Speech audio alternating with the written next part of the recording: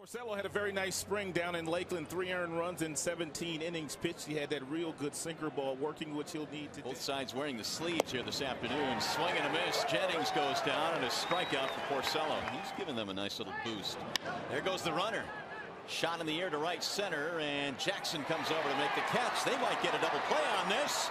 And he is out at first base.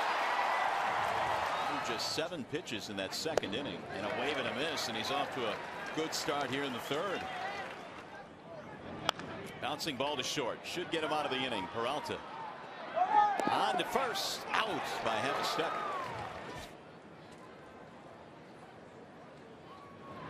Swing and a miss. Jennings is out of there. Three strikeouts for Porcello and a six ERA.